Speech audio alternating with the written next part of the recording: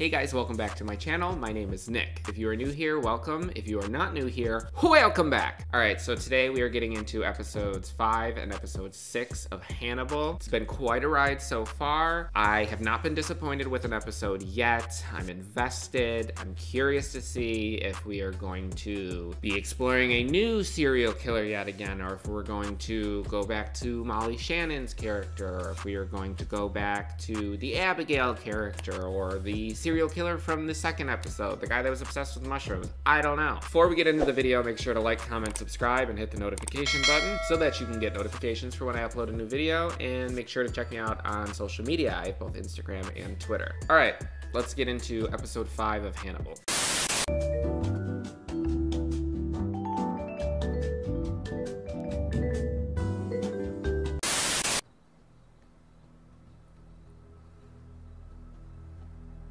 So now he's just off wandering the road in the middle of the night? He needs help.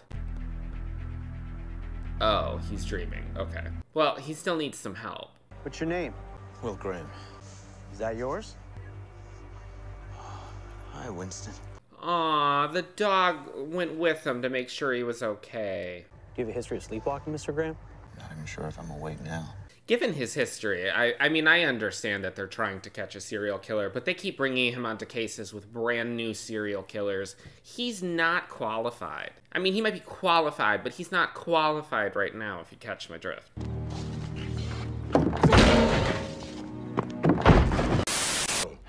Sorry it's so early. Never apologize for coming to me. Office hours are for patients. My kitchen is always open to friends. Don't drink that. Do not put anything in your mouth that Hannibal Lecter gave you. It might look like coffee, You could be wrong. but it could be blood. It could be spinal fluid. Just don't do it, promise? Your experience may have overwhelmed ordinary functions that give you a sense of control. Uh, if my body is walking around without my permission, you'd say that's a loss of control. Wouldn't you? Yes.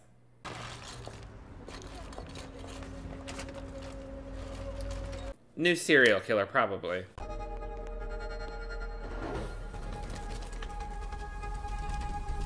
Well, damn, bitch!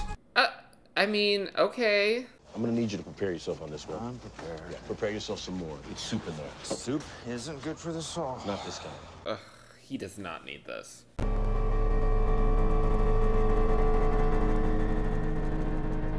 What the f- Ew, uh, ew, that's like some midsummer shit. Madness slept here last night. Uh, uh, what is that? Well, here he goes again with this shit. Cool little trick for people, you know, who are a little bit more mentally stable. This is my gift to you.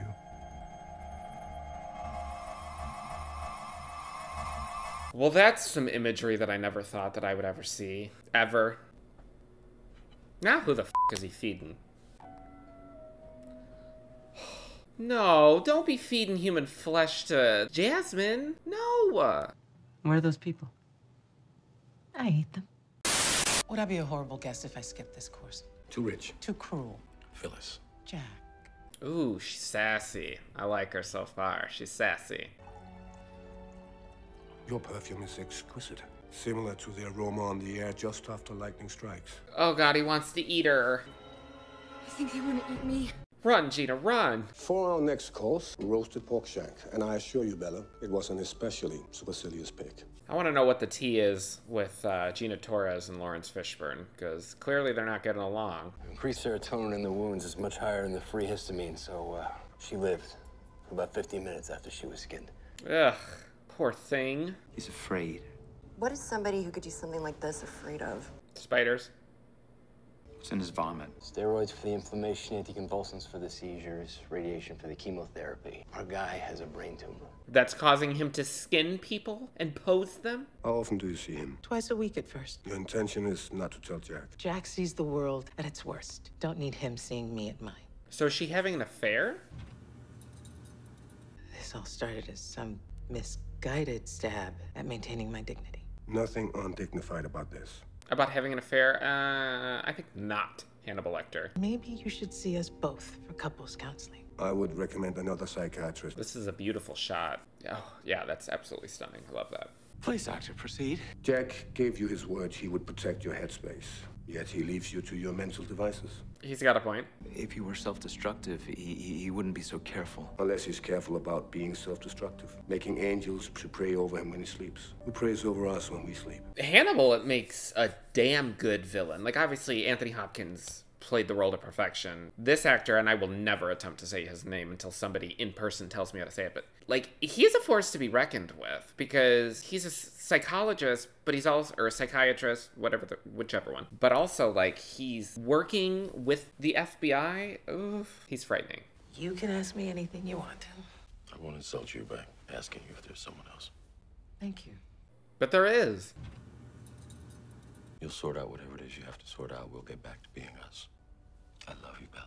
Now, I am adamantly, adamantly against cheating. I won't do it. I don't believe in it. I don't around with that. If there's any of that in relationship, I'm done. But I will say that how they've presented uh, what's the infidelity and what's going on with Lawrence Fishburne and Gina Torres is they're not vilifying her. It's coming from a very humanized aspect when she's, you know, when she was speaking to Hannibal about her relationship and stuff like that. And it's, I'll give him props for presenting a topic like that and not evoking a immediate dislike of the character for me.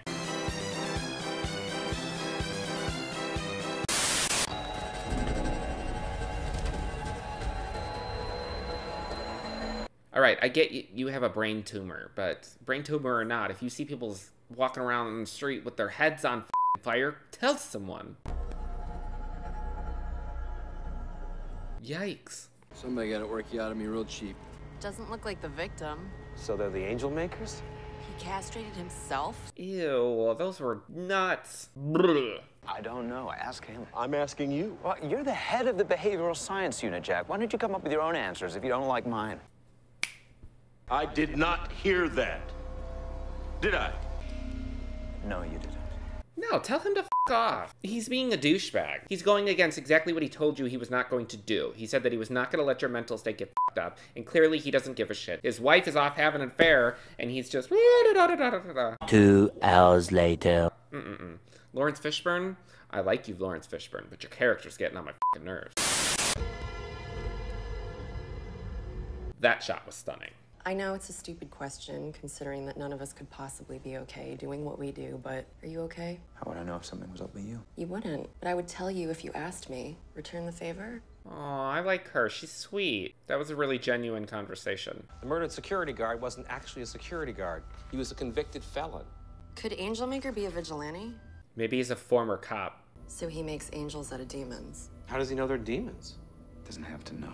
All he has to do is believe. Well, no, he said that both of them were were one was a rapist and one liked to watch, and then the security guard was a felon. So obviously he has to have some sort of indication that they're criminals. I doubt he believes you're unfaithful. It's clear you love your husband. Women who love their husbands still find reasons to cheat on them. Still, you seem more betrayed by Jack than by your own body. Oh, wait a minute. Is she not having an affair? When she said that she was seeing somebody, is she talking about a therapist? Oh. Cancer isn't cruel. Tiny cell wanders off from my liver, finds its way into my lung, where it's just trying to do its job. Oh, is she has cancer? I bumped my head yesterday and I keep forgetting stuff. I am slowly shrinking while this tiny thing grows larger every day. And yet I feel fine. Oh, that's heartbreaking. I was completely confused by when she originally said that she was seeing somebody. I did not catch or even understand that she was talking about like a doctor because she has cancer. Ugh.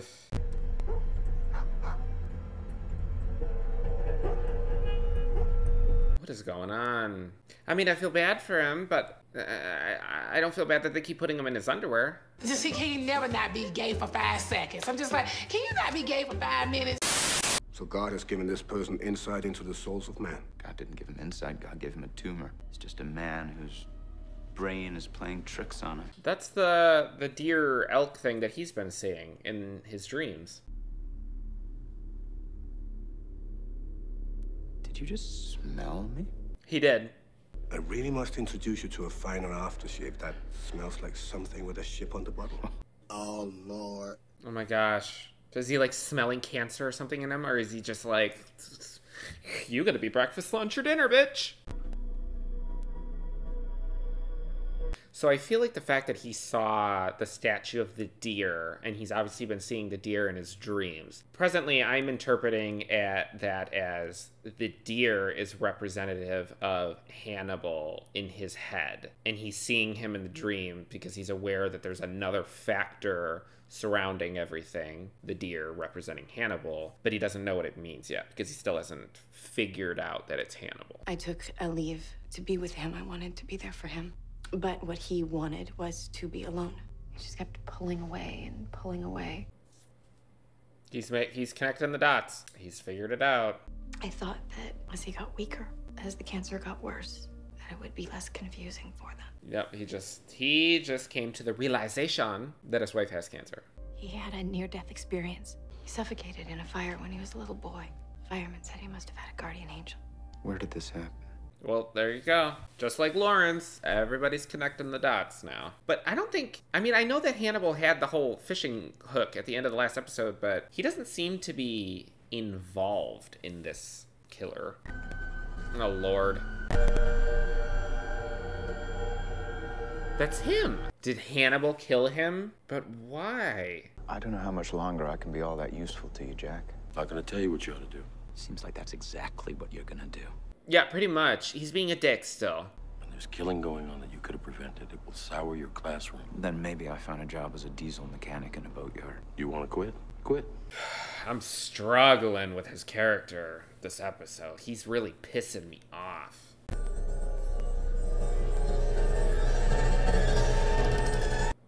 Wait. How the f did he get down without anybody hearing that? I can give becoming. Oh, okay, so he was not there. I was like, thank God. Hello, Doctor. My wife and I need to talk. May we use your waiting room? You can have the office. Yee, it's about to go down. You know, I knew you'd find out. When did you find out? 12 weeks ago, 12 weeks ago. lung cancer. Hmm, poor thing. I want you to know that I don't want you to be alone. Not now and not ever. We'll beat this together.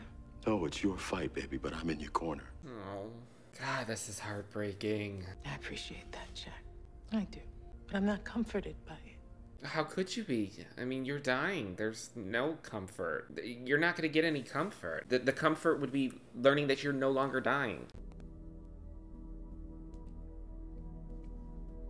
I really like the way that the show is approaching more humanized interactions with people to kind of balance out the, the more outrageous, the horrific visuals that they keep showing. I'm gonna sit here until you're ready to talk. You don't have to say a word until you're ready, but I'm not going anywhere. What is this about? Does he know that something's up? Okay, so that was episode five.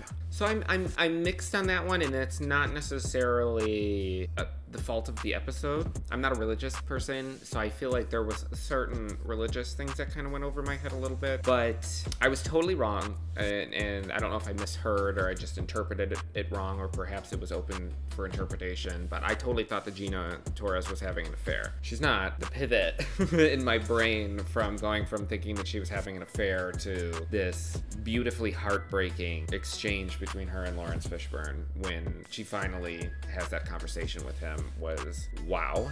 Gina Torres did fantastic. Lawrence Fishburne, he he's definitely going to be a complicated character. I can tell. I mean, he's already com- complicated, but yeah. I mean, I went from feeling for him to being extremely annoyed by him because he's I did not like the way that he was treating Will. I did not like the indifference towards Gina Torres, especially more so in that last exchange with Will in the barn.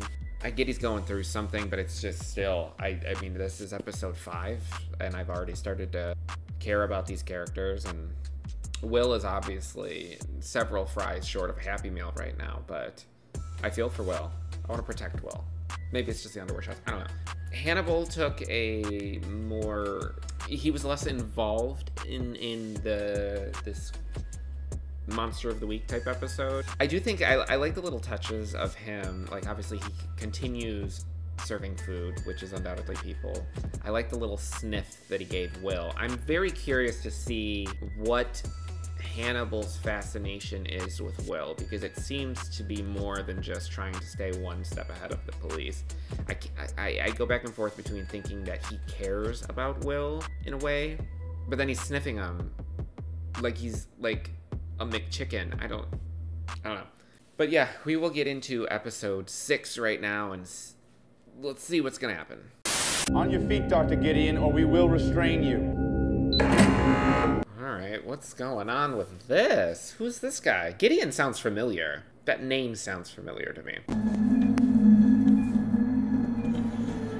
Ooh, he's faking it. Oh, shit.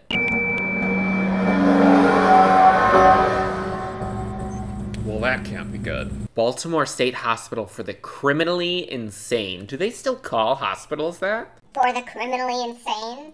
Dr. Bloom just called me about you, Mr. Graham. Or should I call you Dr. Graham? No, I'm not a doctor. Well, well, well. Look who sauntered over from the Special Victims Unit. Mr. Graham's going to need to see the crime scene. Oh, yes, that thing you do. You're quite the topic of conversation in the psychiatric circles. That accent needs to be a topic of discussion. No one is convinced. Uh, no, I'm just a friend of Xander's. Bugger it, I'm your guy. Reason you failed and kept failing to capture the Chesapeake Ripper? So I already had him. All right, so I'm assuming this is going to be like the new thing where we see Will Graham, Lawrence Fishburne walk into a room, the music builds, the camera slowly starts to pull back as they're looking like, oh my god, and then we just see some horrific shit. Damn, he punched her in the throat.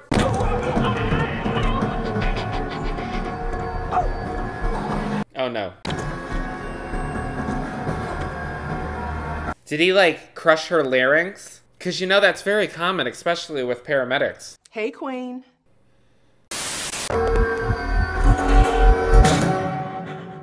He's gonna crack before the end of the season, I'm telling you. And it's gonna make me so sad, because I like his character. Your instructors tell me that you are in the top 10%. Top five, sir. You're going to have to stop correcting me if we're going to get along less. I was wondering when he was gonna say something. Why me? You have a forensics fellowship, six years of law enforcement, what I don't have are enough warm bodies. I wonder what happened to her. Did she end up getting killed by the killer? Is she in the mental hospital? Did he destroy somebody else's mental health? Who knows?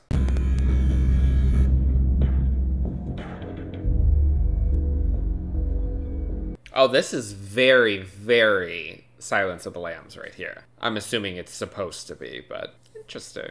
Would you prefer a Rorschach test? If you're gonna show me those pictures, maybe you should put a blood pressure cuff to my genitals. I find it gives a much truer gauge of reaction. Ew. I mean, that's nasty. Brutalization of the body was done posthumously. I do not have to convince you that I am the Chesapeake Ripper.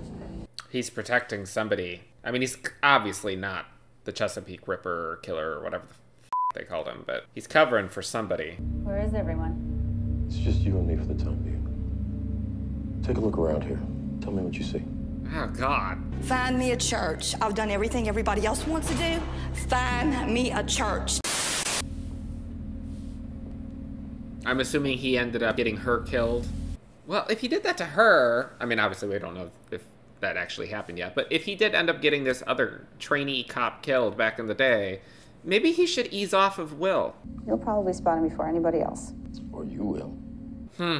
Interesting. Curious to see where that goes. Maybe he is the Ripper, I don't know. But if he's a plagiarist, the real Chesapeake Ripper is gonna make sure everybody knows it. How would he have the information on the wound patterns if it wasn't released? Does that mean that it's an inside job, like whoever it is works for law enforcement, or like the medical examiner or something like that, that they would have access to that kind of information? Jack, it's Miriam. I don't know where I am. I can't say anything. Miriam? I was so wrong. I was so wrong. Miriam? Oh, is is Miriam the the the the black and white flashback detective trainee? You're sure it was Miriam West? I haven't heard her voice in two years, Jack. You gonna continue to question me on this, Z? If so, maybe I should ask you to leave the room while it's still safe for you to be here. He's got a little something something going on too. He's very angry. But he was angry before he found out about his wife's cancer, so what's the excuse? Oh god, Is he cracking again? Is he about to see the deer?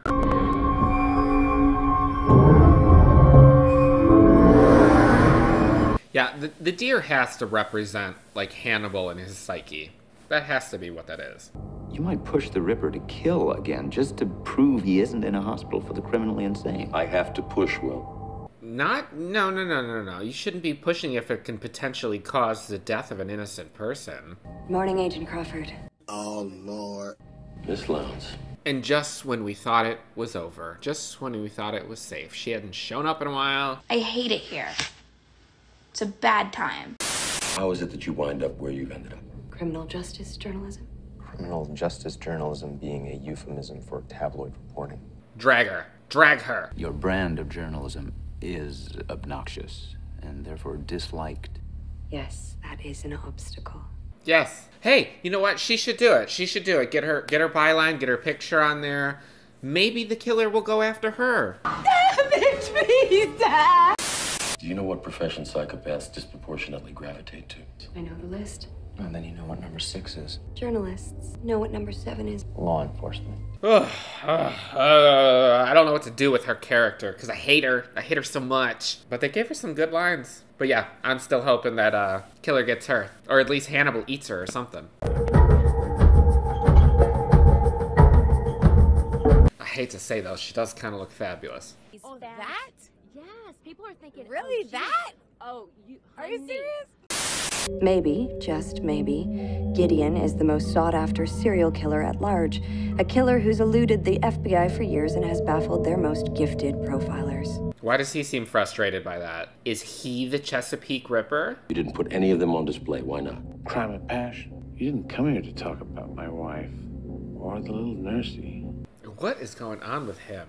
I'm curious, why are you being so forthcoming all of a sudden? Well, what have I got to lose? Why didn't you put her on display? What makes you think I didn't? What does it mean? And what is Hannibal's involvement with it? Because he's he's been mostly out of it this episode, but he clearly seemed bothered by reading Glenda's news story. Jack, it's Miriam. I don't know where I am. I can't say anything. I was so wrong. I was so wrong. So why were they saying that he didn't receive a phone call though? Like he would clearly still have the the call log on his own phone. Whoever made that call thinks you were close to Miriam Lass and you're responsible for her death. I mean, it kind of seems like he is based on the way that they're presenting the information to us. It's one thing for a trainee to go poking around in private medical records without a warrant. Very different if the guru did it. Oh. Mm, it kind of does seem like he's causing it. He's being a little shady McShaderton. You were a model patient. You behaved yourself for two years. No opportunity to be naughty. I don't know, it kind of seems like you might want to kill her, and you better not. Not on my watch. Dinner is served.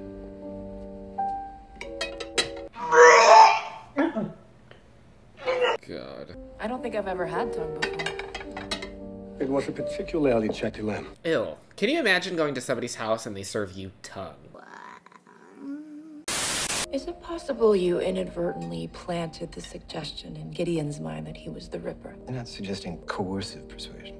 No, he, this guy's an idiot. If he has been unethically manipulated, I need to know. I want to love your insight. Ugh, he is shady, this one. I don't trust him at all. He's trying too hard to, to close this case. He's too convinced, and he's just ignoring all of the signs in front of him. Were I in your position, I would have attempted psychic driving. Perhaps you already have.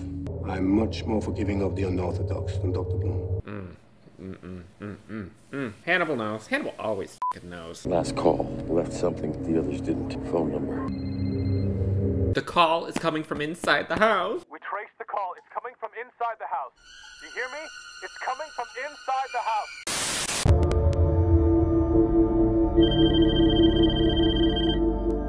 Is that the detective lady, Miriam? Because if so, that arm looks fairly fresh. So, was she actually like dead? Did they bury her? Was there an autopsy, or did she go missing and then she was presumed dead and then declared dead, but she nobody actually knew because that arm looks really fresh. I'm sorry about your wife, Jack. I truly am. I believe the world is a better place with her in it. Hmm. He doesn't want to eat her. It's really sweet, you know. What was her name? My name is Miriam Lass. I'm with the FBI. Never just a trainee.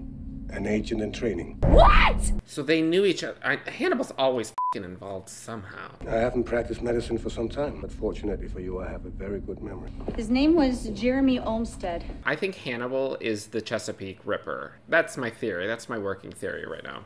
If it's the gentleman I'm thinking of, I vaguely remember a fellow Hunter bringing him in, but I did keep detailed journals during those days. If you like, I can get them for you. He's gonna go get like a, a hatchet or something. Let's just run. Run, bitch!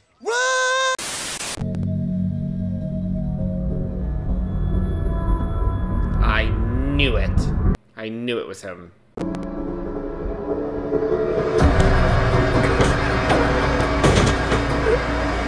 Oh no.